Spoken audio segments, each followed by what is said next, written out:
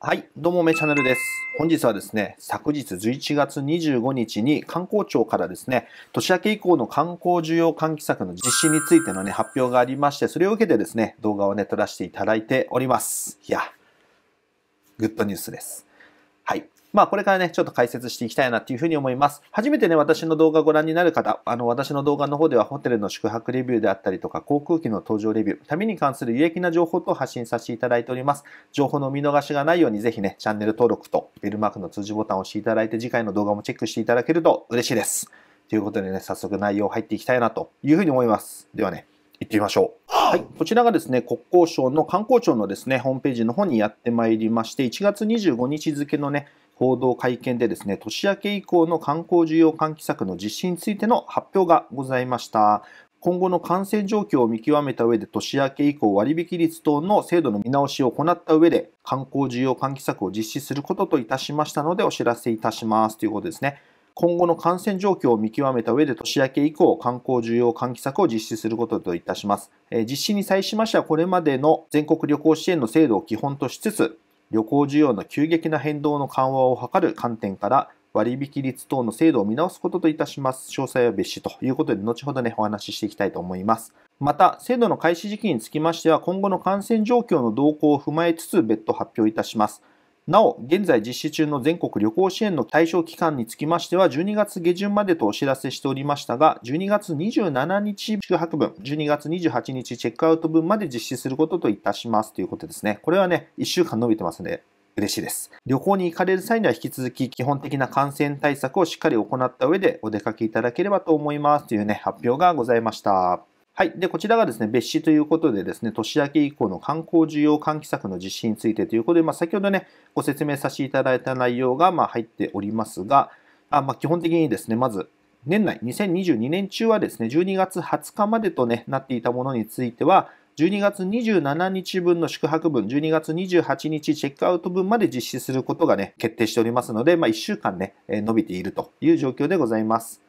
はい。で、その他ですね、年明け以降の観光需要喚起策につきまして、まあ、割引率がね、ちょっと変動しております。割引率が40%から20%。そして割引の上限額が交通付き旅行商品は1泊あたりですね、5000円という形になっております。上記以外ですね、日帰りだったりとか、ホテルのみの宿泊の場合に関しましては3000円がね、え上限という形になります。で、クーポンにつきましてもね、変動がございます。平日ね、今まで3000円だったものが2000円。休日は変わらず1000円ということで原則電子クーポンということになりますよということの変更がね、ございます。はい。で、また私の方でですね、Excel の方でですね、全国旅行支援の延長についてのまとめをね、作らせていただきました。概要欄の方に URL 貼っておきますので、よかったらそちらの方ね、ご参照いただければなというふうに思います。まずですね、2022年中につきましては、全国旅行支援の対象期間が延長されております。割引対象期間が今現在はですね、12月の20日まで、12月の21日チェックアウト分のものがですね、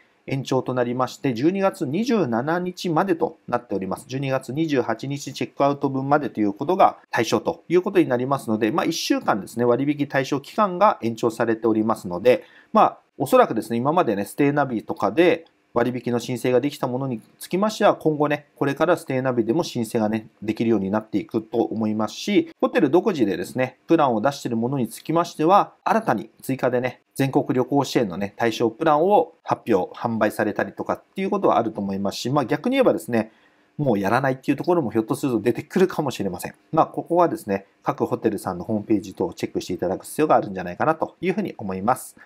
そしてですね、2番、年明け以降も観光需要喚起策を実施しますよということでですね、割引率の、ね、変更はございます。今現在はですね、割引率が最大で40%だったものが、延長後はですね、最大で20%。交通付き商品が上限8000円だったものが、上限が5000円に変更となります。日帰りまたは宿泊のみのね、上限が5000円だったものが、1人当たり上限が3000円という形になります。そしてね、クーポンの方も変動がありまして、平日3000分のクーポンがいただけたものがですね、2000円に変更となります。まあ、休日につきましてはですね、祝日の前日であったりとか土曜日に泊まった場合は1000円ということで、これは変わらず据え置きという形になります。なのでですね、まあ、ちょっとね、例ということで入れさせていただいておりますが、割引例でですね、まあ、まず交通付き商品が1人当たり2万5000円、20%分の上限。なので、2万5000円以上のですね、えツアーに参加していただいたとしても、まあ、上限がね、5000円となります。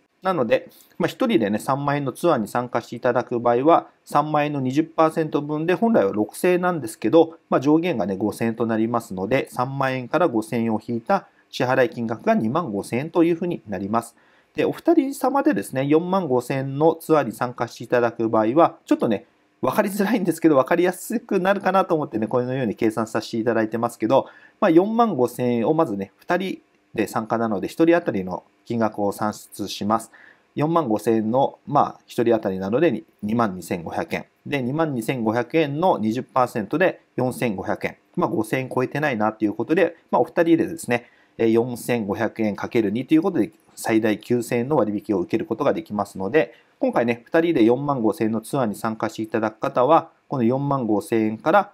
9000円を引いた3万6000円のね、支払いとなるということで、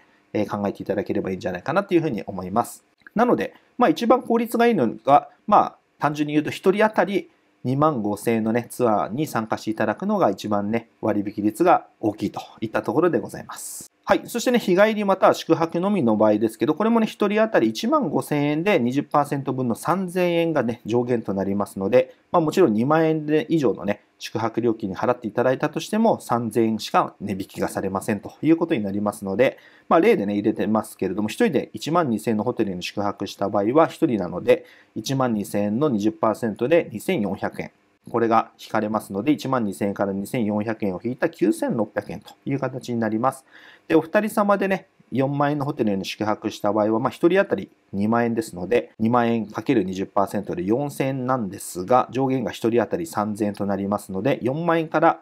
えー、3000円のかける2で6000円引いたね、3万4000円が支払い額になりますよっていうことにね、考えていただければいいんじゃないかなというふうに思います。わかりやすいようでちょっとね、わかりづらいかもしれませんけど、まあ、このようにね、まとめさせていただきました。まあ、先ほど申し上げた通り、こちらの URL につきましては概要欄の方に貼っておきますので、まあ、参考程度にね、いつでもご自身で好きな時に見ていただければと思います。はい。ということでね、まとめさせていただきました。まあ、交通付き商品につきましてはですね、現在のものと今後ね、割引率が変更になったものは1人当たり3000円のね、差が出てくるという形になりますし、日帰りであったりとか、ホテルの宿泊のみの場合につきましては、1人当たりね、2000円の差がね、生じてくるという形で、割引率はね、ちょっと圧縮されてしまうんですけれども、まあ、正直ね、ないよりはいいんじゃないかなというふうに思っております。なので、年明け、まあ私がね、勝手に思うところですね、まあ1月の3連休明けの週、もしくはその翌週から、おそらくですね、3月の春分の日とかね、あの連休の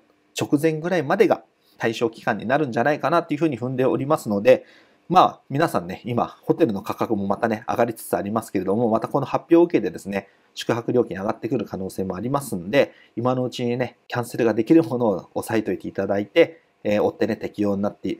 適用ができるような形でね、対応していただくのがいいんじゃないかなというふうに思います。まあ、ただね、一部ホテルにつきましてはですね、まあ、前回ね、おそらくステイナビさんで後から申請できなかったホテルについては同様にですね、新しいプランが発表されて、そちらの予約を取らないと適用になりませんというホテルもありますので、まあ、そこら辺はちょっとね、今までの動向を見定めつつですね、ご自身でキャンセルがまずできるものをね、えー、押さえていただくのがいいんじゃないかなというふうに思いますけれども、まあ、ないよりはね、いいかなっていうふうに思いますし、まあ、これがね、なくなったとしても、ホテルのね、宿泊料金っていうのが今、インバウンドもありますし、まあ、円安の影響を受けてですね、まあ、急激にこの全国旅行支援がなくなったからといって宿泊料金が下がるものでもないと思いますので、まあ、多分ね、こういった政策があった方がね、我々消費者としてはいいんじゃないかなっていうふうに思います。まあ、ただね、ホテルのね、従業員の方としましては、悲鳴なんじゃないかなっていうふうに思います。まあ経営者としてはね、嬉しい悲鳴なのかもしれないですけど、従業員としては結構ね、大変な時期がね、より続くと思いますので、まあ、ホテルの方はね、まあ、仕事だっていうふうに思わずですね、あの皆さん多分大変な思いされてるということで理解していただいて、宿泊者様もね、ぜひ利用していただくのがいいんじゃないかなというふうに思いました。またね、こういった動向につきましては、キャッチでき次第ですね、動画の方でご紹介させていただければなというふうに思います。はい。ということでね、今回の動画に関しましては、こちらで以上とさせていただきたいと思います。この動画がためになった、参考になった、面白かったよという方は、ぜひね、高評価ボタンとコメント気軽に残しておいていただければ幸いです。あと、概要欄下の方に私 Twitter、LINE、Instagram やってまして URL の方貼ってありますので、ぜひ合わせてフォローチェックよろしくお願いいたします。私の動画の方ではね、冒頭申し上げた通り、ホテルの宿泊レビューであったりとか、航空機の搭乗レビュー、旅に関する有益な情報と発信させていただいておりますので、情報のお見逃しがないように、こちらのチャンネル登録と、ベルマークのね、通知ボタンを押していただいて、次回の動画もチェックしていただけると嬉しいです。ということで、また次回次の動画でお会いしましょう。